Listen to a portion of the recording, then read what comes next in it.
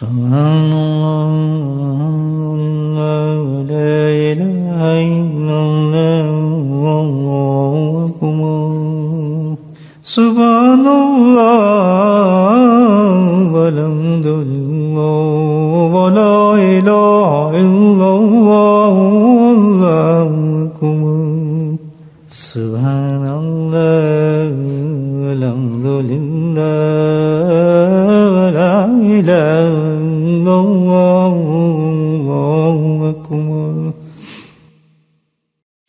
نحمده ونصلي على رسوله الكريم أما بعد قال الله تعالى في قرآن المجيد أعوذ بالله من الشيطان الرجيم.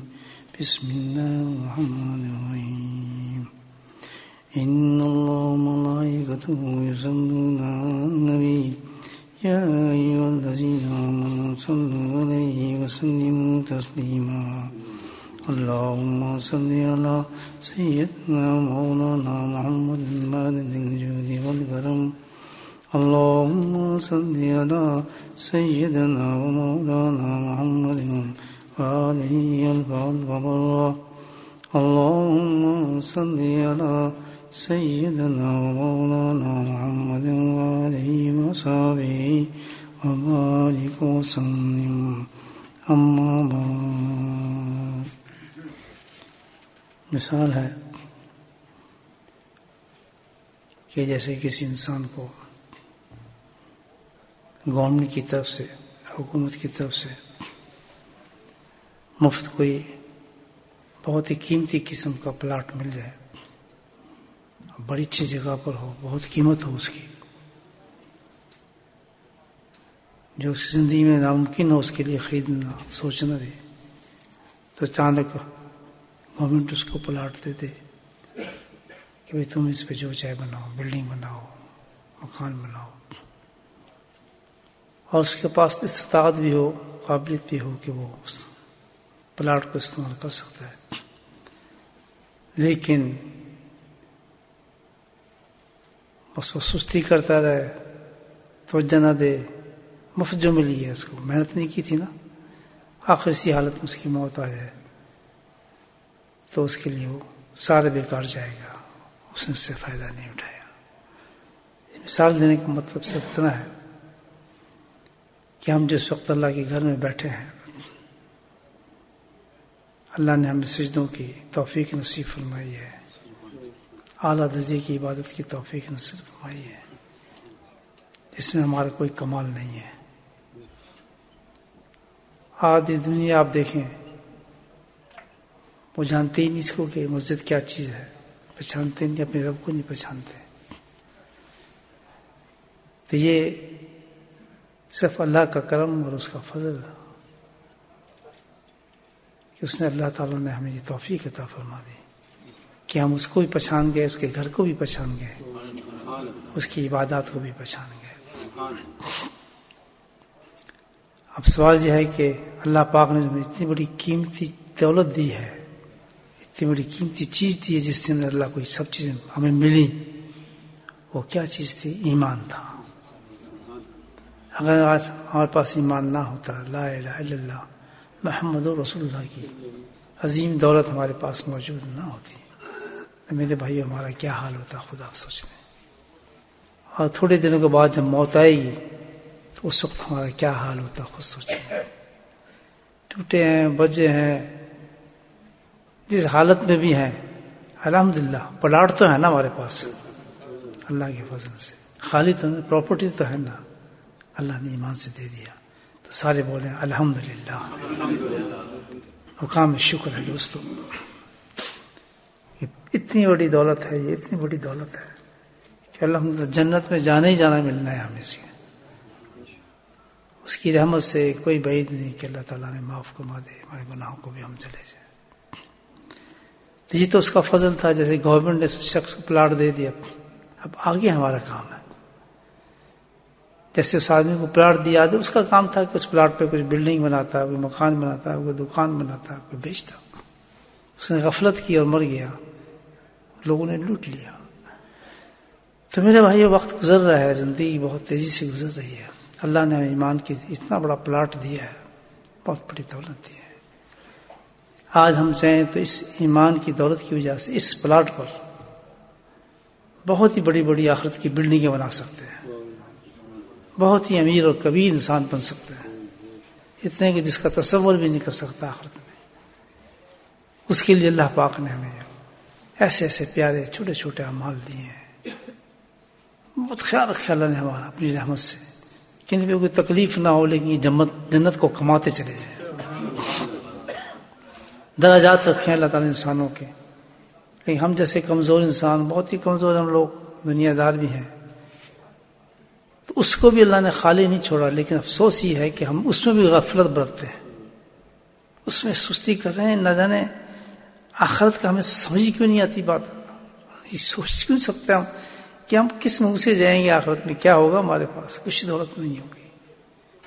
تو جب اتنی آسان اللہ پاک نے ہمیں چیزیں تا فرمائی ہیں کہ اس پہ بھی ہم اگر ان چیزوں کو بھی اختیار کر لیں تو الحمدللہ بہت بڑے بڑے درجے آخرت میں مل سکتے ہیں۔ اس میں سے ایک عمل جو الحمدللہ بہت ہی آسان ہے، بہت ہی سہل ہے، بہت ہی مزیدار ہے، بہت ہی لذیذ ہے۔ مزہ ہے جس میں اللہ نے، وہ عمل اللہ نے ہمیں عطا فرمایا ہے۔ جس میں نہ کوئی محنت ہے، نہ کوئی مشقت ہے، نہ کچھ بھی نہیں الحمد للہ کل ڈلا عمل دیا اللہ پاک نے ہمیں۔ کہ چلو کچھ نہیں کر سکتے، کم از کم یہ تو کر لو۔ اس عمل کو تو اللہ تم سے اتنی بڑی مجاہدات نہیں ہوتے، چلو مصروف ہو۔ پھر بھی اللہ تعالیٰ کہتے ہیں، میں تمہیں بڑے انعام دوں گا، بہت بڑے انعام دوں گا۔ کریں گے بھائی وہ عمل؟ پکی بات ہے۔ مشکل نہیں۔ مشکل ہے نہیں، لیکن نفس اور شیطان اس کو مشکل بنا دیتے ہیں اسے تو ہمیں پہنچانا ہے جہنم میں۔ اسے تو ہمیں غلط کام پہ لگانا ہے۔ لیکن خود سوچیں جی، جو اللہ تعالیٰ کہہ رہے ہیں اللہ کے رسول سے فرماتے ہیں کہ اتنا آسان ہے اور خود ہمیں پتہ چل رہا ہے۔ اور پھر بھی لوگ کہتے ہیں جی بڑا مشکل ہے، جناب، کوشش کریں گے، جناب، فلاں کریں گے، یہ یہ بہت بڑی بات ہے بھائیو۔ یہ تو بیماری ہے۔ غفلت کی بیماری ہے، دل ہمارے ختم ہو چکے ہیں کہ اتنا بھی احساس ہمیں نہیں کہ پلیٹ میں رکھ کے بہترین قسم کا ڈنر آپ کو دیا جا رہا ہے۔ ہم وہ بھی نہیں کھا رہے۔ نہیں جی ہمارا دل نہیں کر رہا، ہم نہیں کھائیں گے۔ یہ حال ہے ہمارا۔ وہ کیا چیز ہے؟ اس عمل کی طرف اللہ بھی توجہ ہمیں متوجہ فرما رہے ہیں۔ اللہ کے رسول پورا قرآن بتا رہے ہیں حدیثیں بتا رہی ہیں۔ وہ کیا ہے؟ وسک اللہ کثیر اللہ بس اتنی سی بات ہے۔ بس تم مجھے یاد کر لو۔ بس یہی ہے نا۔ میں نہ تمہیں پہاڑوں میں بلا رہا ہوں، نہ وہ سمندروں میں بھیج رہا ہوں، نہ تمہیں اور پتہ کہتے ہیں، بستر بھی مجھے یاد کر لو۔ سبحان اللہ۔ بے وضوئی مجھے یاد کر لو۔ اتنا بھی نہیں ہم سے ہوتا اتنا بھی نہیں ہوتا۔ جوڑ اللہ پاک کہ بے کفو آخرت میں ایسے لوگ اٹھیں گے کہ عجیب عجیب کیفیت پہ ہوں گے۔ کچھ تو ایسی جماعت ہوگی۔ اللہ وقت پر ستر ہزار لوگ ہوں گے۔ وہ سے زبردست لوگ ہوں گے، ستر ہزار۔ اتنے زبردست لوگ ہوں گے کہ ان میں اللہ اتنا نورین رکھے گا وہ ستر ہزار اپنے ساتھ ستر ہزار کی بھی بخشش کرا دیں گے۔ ایسی زبردست قوم ہوگی وہ۔ وہ بھی آخر اٹھے گی۔ بولے اللہ تعالیٰ ہمیں بھی ان میں کر دیں۔ اللہ کی رحمت سمجھ خالص ستر ہزار لوگ ہوں گے وہ۔ کیا کمایا ہم نے بھائی مجھے بتایا کوئی ساٹھ سال کا ہے پچاس سال کا ہے پینتالیس سال کا ہے۔ وہ دنیا کے غم میں بیٹھے۔ جتنی دے دی، اللہ نے دے دی، اس پہ اختفا کر لو۔ نہیں ملی الحمد للہ شکر کر لو۔ اللہ اس کو بدل دے گا۔ مانگتے رہو، دعا کرتے رہو۔ گھبرانے کیا بات ہے؟ تو ایک عارضی چیز ہے۔ جیسے آپ ٹرین میں بیٹھ رہے ہیں، آپ کو کوئی سیٹ اچھی نہیں ملی، تو آپ چھوڑ دیں گے، ٹرین سے باہر نکل آئیں گے۔ باہر تو نہیں نکلیں گے۔ آپ کہیں کوئی بات نہیں کھڑے رہتے ہیں، یار، پہنچنا تو ہے نا، پہنچ جائیں گے بلیک بنی جا رہے ہیں، ٹرین میں کون سا دور جانا ہے۔ آدمی بردش کر لیتے تو آج ہمیں کوئی چیز نہیں مل رہی پرواہ نہ کریں الحمد للہ آخر پہنچ تو جانا ہے نا آخر تو ہم نے۔ اللہ کہتا ہے، تو نے صبر کیا، میں اس سے اچھی چیز تجھے تا فرما رہا ہوں۔ ہم اس کے رونے میں لگ جاتے ہیں، اس کے غموں میں پڑے رہتے ہیں، اس لیے گھبراتے رہتے ہیں۔ بہت کام کرتے ہیں اس کے لیے۔ تو یہ اتنا سہل امن اللہ نے دیا اللہ کا ذکر اندازہ لگا کہ آخرت میں ایسے ایسے لوگ جا رہے ہیں، ستر ہزار، اسی شخصیت ہوں گے، کوئی خوش ہو رہا ہوگا کسی کے دانے ہاتھ میں آ رہے ہوں گے، کسی کو بغیر حساب کے اندر جا رہا ہوگا، کیا رونق لگی ہوگی آخرت میں الحمد للہ خوش پاش لوگ ہوں گے۔ اس میں ایک جماعت بھی ہوگی۔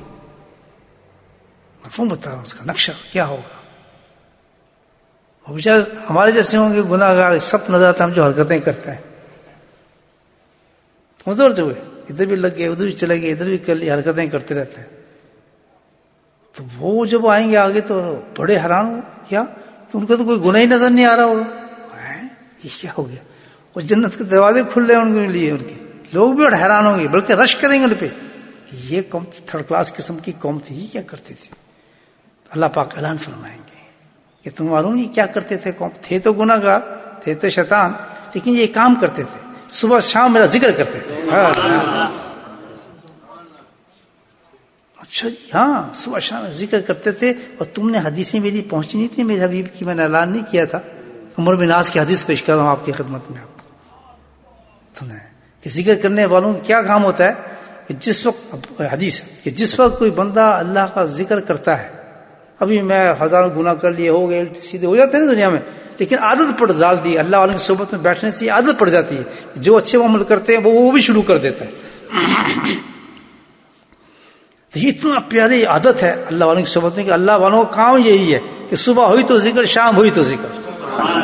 آپ جا کے دیکھ لیں کسی اللہ والے کی صحبت تیسرا کام نہیں ہوتا۔ وہاں چالیس پچاس سال میں اللہ والوں کی صحبت میں گیا ہوں، اللہ کی قسم، کسی اللہ والے کے پاس مجھے چیز اس کے علاوہ کی نظر ہی نہیں آتی تھی۔ ذکر اللہ تو کیا بات تھی آخر؟ وہ سمجھ گئے تھا نا؟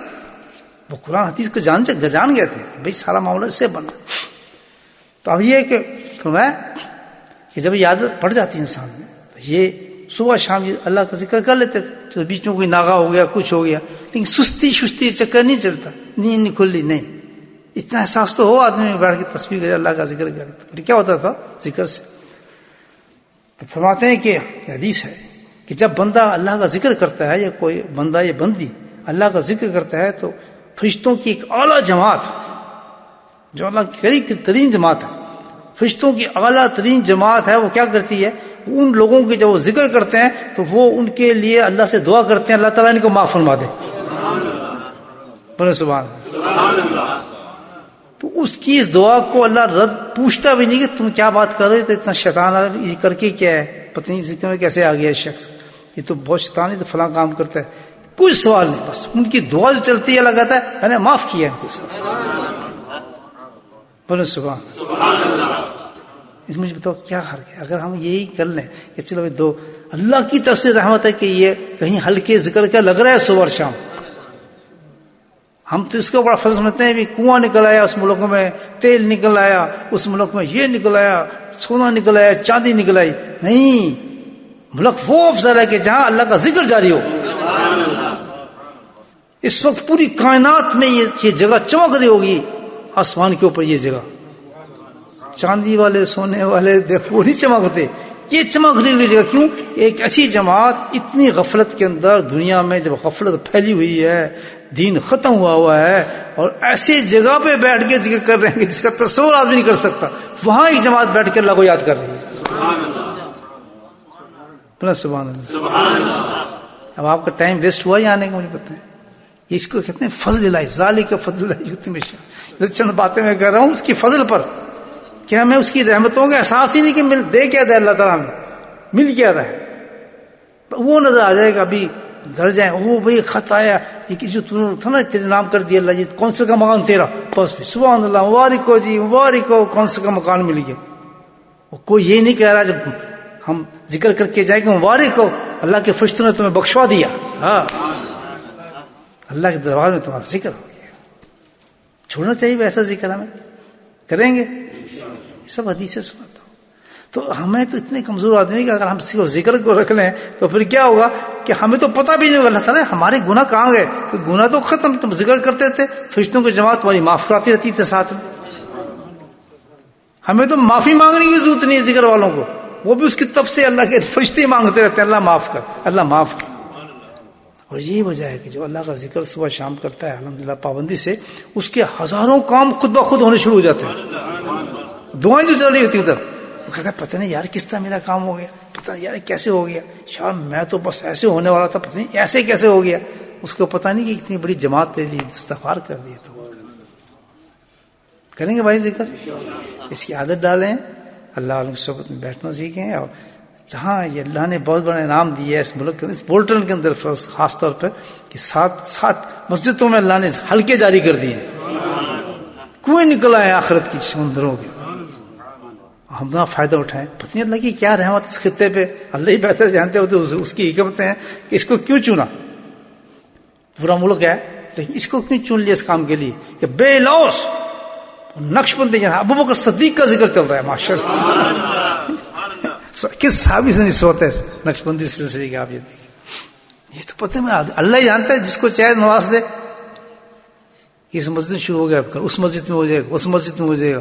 پتہ نہیں کیا اللہ کی طرف سے انصاف۔ یہ اللہ ہی فصل ہے۔ تو ہم اس سے محروم ہو جائیں تو بتائیں کتنی بڑی بات ہوگی۔ چلیں اللہ سے دعا کریں، اللہ پاک ہمیں توفیق دے کہ ہم اتنی تو سمجھ آ جائے کہ تیرے انعامات کو پہچان سکیں ہم، اس سے مستفید ہو سکیں۔ اور کم از کم کچھ تو آخرت کے حساب بنا لیں اللہ تعالیٰ ہمیں توفیق بسم اللہ الرحمن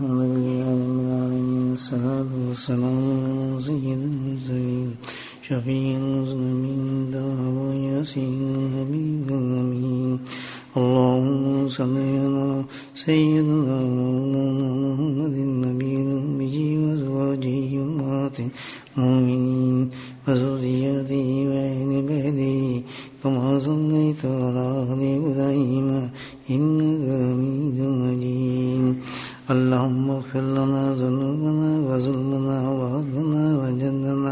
وخطأنا وعملنا كل ذلك عندنا. اللهم ربنا آتنا في الدنيا حسنة وفي الآخرة حسنة وقنا عذاب النار. وقنا عذاب القبر وقنا عذاب الحشر وقنا عذاب الميزان. وادخلنا الجنة مع الأبرار. يا عزيز يا غفار يا رب العالمين. اللهم ثبتنا على الإيمان وأمتنا على الإيمان. واشرنا يوم القيامة مع الإيمان. اللهم اهدنا الصراط المستقيم. اللهم اهدنا الصراط المستقيم. اللهم اهدنا الصراط المستقيم.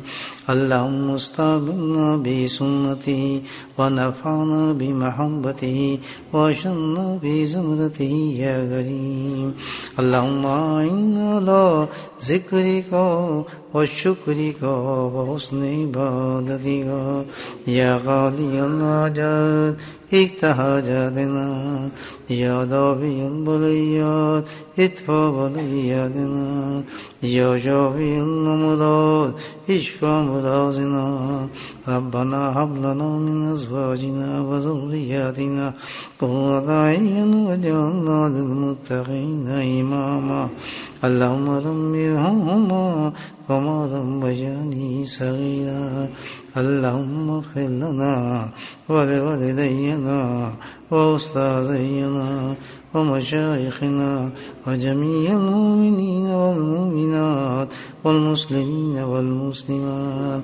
الأحياء منهم والأموات برحمتك يا أرحم الراحمين.